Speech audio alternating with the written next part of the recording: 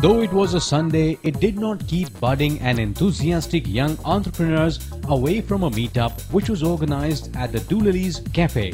This was conducted by the Project Network Company, which will act as a bridge between budding entrepreneurs and investors.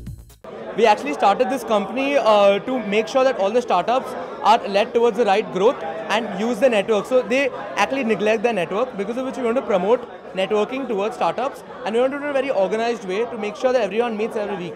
So both of us actually had a startup which failed and we didn't go ahead with it because we didn't have the right network to do it. Because we, uh, that's what made us realize that we need to start something immediately. And today we are standing here conducting a free event for everyone to, like a trailer of all the companies interacting with each other and uh, hopefully this gets converted to the next big thing for startups. Currently, we all feel that the best place to invest is startups right now. You know, uh, because of course there are those large cap stocks and equity markets and all of that, and people have made their money there. People are still making money out there, and that's going on. That's going on fine. The startup space is coming up a lot, and what works for India is uh, we have the benefit of numbers. We have the benefit of the largest numbers with us. So during the meet, 30 budding entrepreneurs were asked to interact with each other and share their business ideas during speed networking round. So for today's event, we came up with speed networking. It was like speed dating, and uh, so we came up with this. I came up with this concept because I was like, if you can market yourself to me in five adjectives or less, I'm sold. Like I'll give you my business. I'll give you business. I'll give you my company too.